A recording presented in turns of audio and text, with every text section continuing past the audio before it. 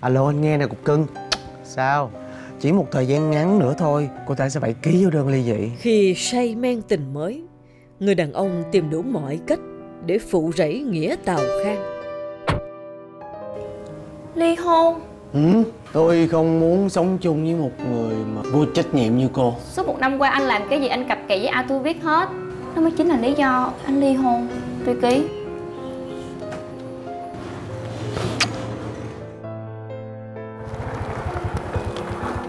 Dạ chị ơi xuống nhận hàng chị ơi. Mừng sinh nhật Phó giám đốc xinh đẹp.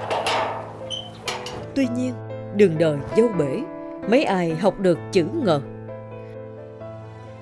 Cảm nhận những thông điệp nhân dân sâu sắc với câu chuyện Người cũ trong chương trình phim ngắn cuối tuần lúc 19 giờ 50 phút chủ nhật ngày 27 tháng 8 năm 2023 trên truyền hình Vĩnh Long 1